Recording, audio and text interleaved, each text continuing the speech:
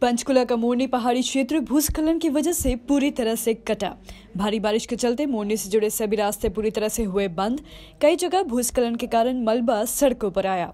आपको बता दें कि पंचकुला में लगातार दो दिन से हो रही है रुक रुक कर भारी बारिश, जिसके चलते पंचकुला में पहाड़ी क्षेत्र मोरनी को आने और जाने वाले सभी रास्ते भूस्खलन की वजह से बंद हो गए हैं।